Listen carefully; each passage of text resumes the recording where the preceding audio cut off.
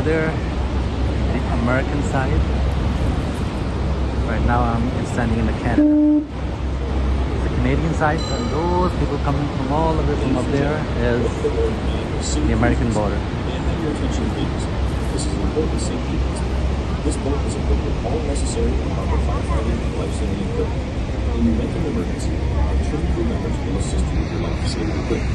For your safety, life jackets are stored in labeled storage containers located throughout the boat. Instructions on how to wear life jackets are also clearly labeled on the storage containers.